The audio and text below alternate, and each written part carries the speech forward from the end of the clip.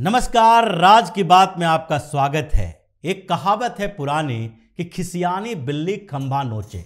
वही स्थिति अब ममता बनर्जी के लिए हो गई है। ममता बनर्जी पूरी तरह से बौखलाई हुई है। उन्होंने कई सभाओं में कहा कि क्या उन्हें केंद्र से पैसे की मांग के लिए, केंद्र से फंड लेने के लिए प्रधानमंत्री का पैर पकड़ना पड़ेगा, उनके पाँव छूने पड़ेंगे क्योंकि ऐसे तो पहले भी उन्होंने पाँव छूने की कोशिश की।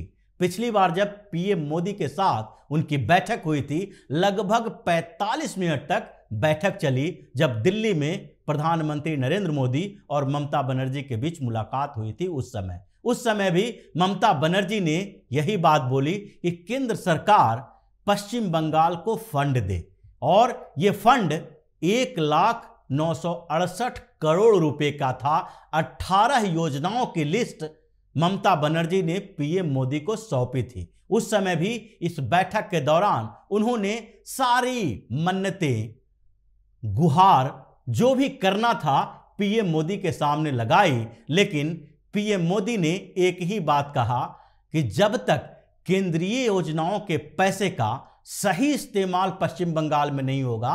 तब तक भ्रष्टाचार के लिए टीएमसी के लोगों को बंदरबाट करने के लिए फंड नहीं दिया जा सकता।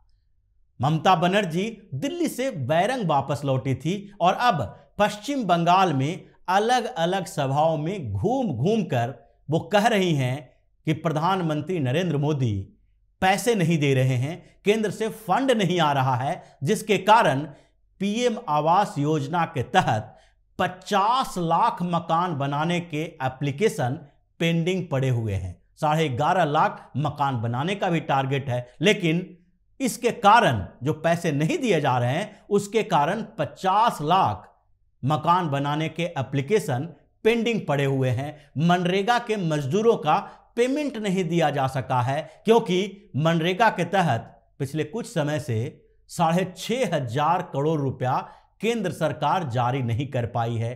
पीएम आवास योजना के तहत साढ़े नौ हज़ार करोड़ रुपया केंद्र का फंड पश्चिम बंगाल को नहीं मिल पा रहा है।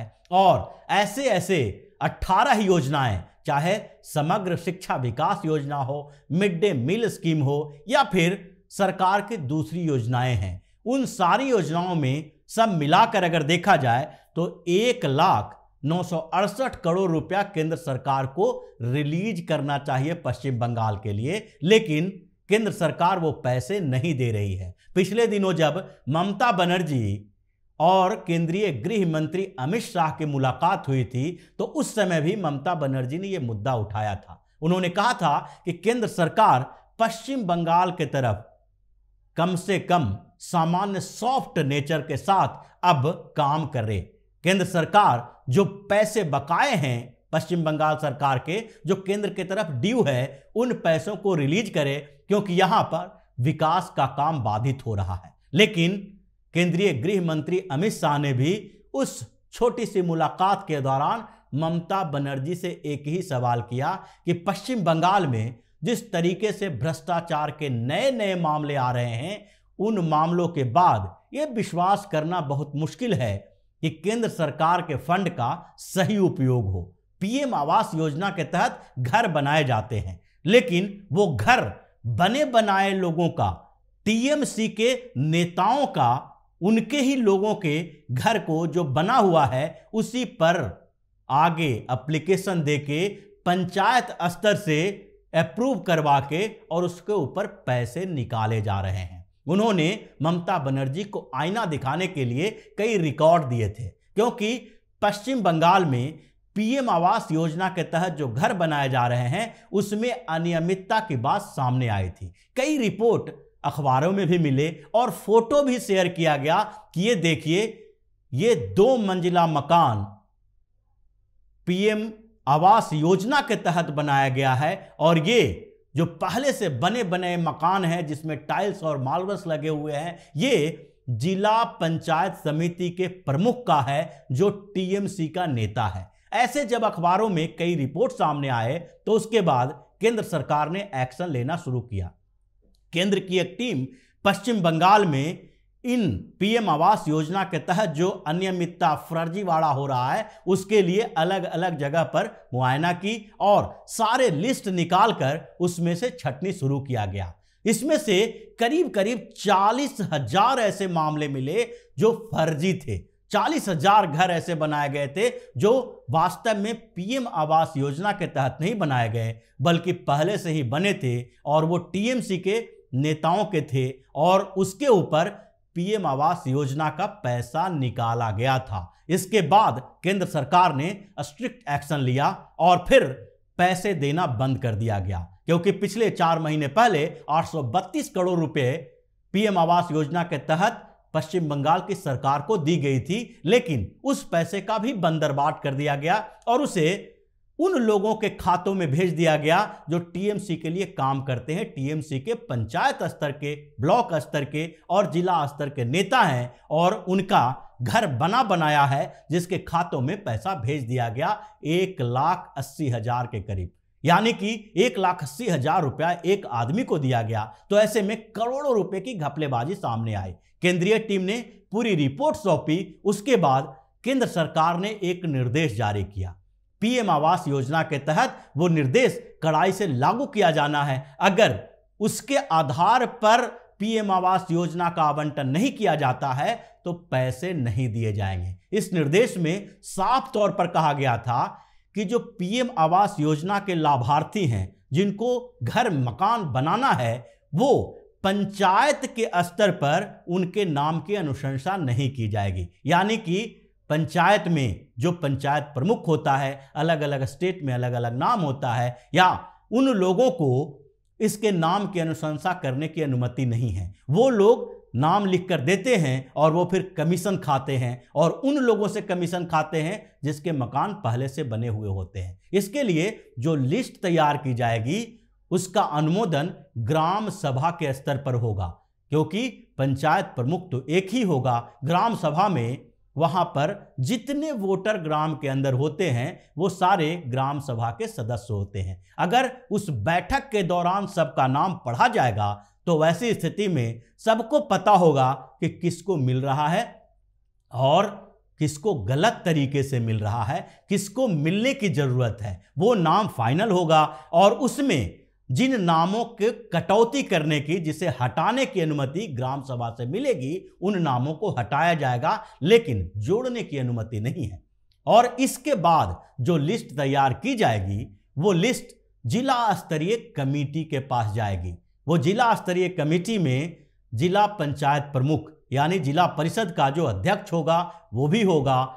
डीएम होंगे, यानी जिला अधिकारी होंगे, एडीएम भी होंगे, और कर्मा अध्यक्ष भी होंगे। यानी कि ये सारे लोग इस कमेटी के मेंबर होंगे जो देखेंगे कि इस मामले में जितने लोगों का नाम दिया गया है, वो नाम सही लोगों का है। इसके लिए प्रशासनिक स्तर पर खुद जाकर देखा जाएगा उनके घर को, मकान को और उसकी ज़रूरतों को। उसके बाद जो लिस्ट फाइनल होगा, उस लिस्ट को अपलोड किया जाएगा और फिर उसके क्वेरी आएँगे। कि भाई, ये नाम जो दिया गया है, ये सही है कि नहीं? लोग अगर इस पर आपत्ति नहीं जताएँगे तो उसके बाद उसके नाम का फाइनल किया जाएगा और उसके खातों में पैसा भेजा जाएगा। ये केंद्र सरकार की योजना है और आप सिर्फ़ नामों की अनुशंसा कर सकते हैं। केंद्र सरकार डायरेक्ट बेनिफिट ट्रांसफ़र के तहत वो पैसे उन लोगों के खातों में डाल देगी। लेकिन ये घपलेबाजी अब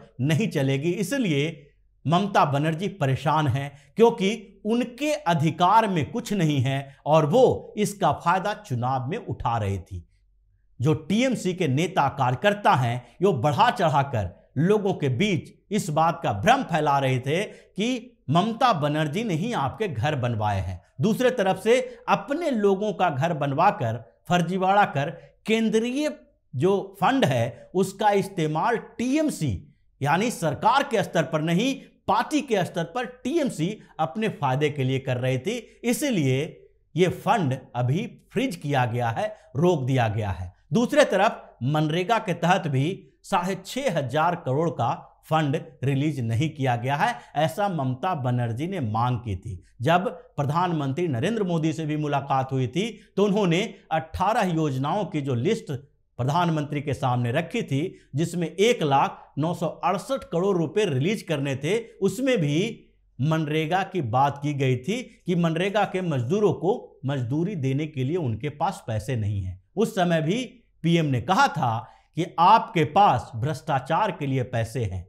आपके पास शिक्षा घोटाले में एक एक मंत्री के घर से 50-50 करोड़ रुपए मिलते हैं। दूसरे और अधिकारियों, मंत्रियों की बात छोड़ दीजिए, क्योंकि एक नहीं, कम से कम 10 से 15 ऐसे बड़े बड़े घोटाले पश्चिम बंगाल में हैं, जिसकी सीबीआई और ईडी जाँच कर रही है। और इसके लिए पैसे हो जाते हैं, लेकिन मजदूरों के देने के लिए पैसे केंद्र सरकार से चाहिए। इसकी भी जाँच होगी और जेन्यून जो मनरेगा मजदूर है, उसको डायरेक्ट बेनिफिट ट्रांसफ़र के तहत ही पैसे जारी किए जाएँगे। इसलिए केंद्र सरकार से बड़ी उम्मीदें न करें। केंद्र सरकार आपको पैसा दे और आप उसका इस्तेमाल टीएमसी के लिए, अपने नेताओं के लिए और भ्रष्टाचार में बंदरबाट के लिए करें। ये सारी स्थितियाँ ऐसी हो गई जिससे ममता बनर्जी बौखला गई हैं। उनके पास फंड नहीं है, पैसे नहीं है और केंद्र सरकार के ऊपर ठिकरा फोड़ रही हैं, क्योंकि केंद्र सरकार के पैसे का इस्तेमाल ही वो अपने नाम के लिए कर रही थी।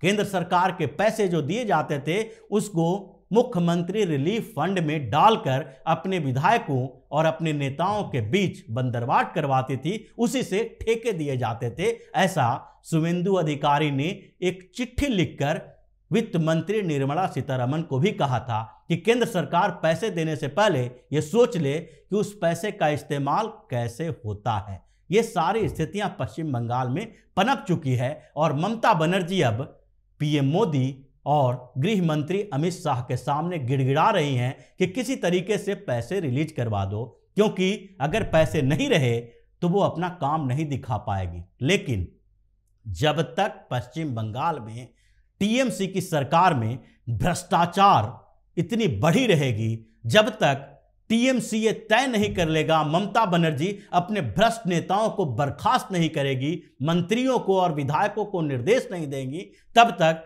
केंद्र सरकार से पैसा भेजने का कोई तुक नहीं बनता है, क्योंकि ये पैसे वहाँ जाएँगे और इन्हीं लोगों के बीच बटकर रह जाएँगे। न लोगों का काम होगा और न ही वहाँ पर विकास होगा। इसलिए केंद्र सरकार इस बार बिल्कुल एक्शन मोड में है कि पहले आप भ्रष्टाचार पर लगाम लगाओ, पहले इन योजनाओं में जो पैसे भेजे जा रहे हैं, उसका हिसाब दो, उसके बाद ही आपको पैसे दिए जाएँगे। तो इसी तरह की खबरों के साथ फिर से हाजिर होंगे। तब तक के लिए बने रहिए हमारे साथ और देते रहिए हमें सहयोग ताकि इसी तरह की खबर हम आपके लिए लाते रहें। धन्यवाद।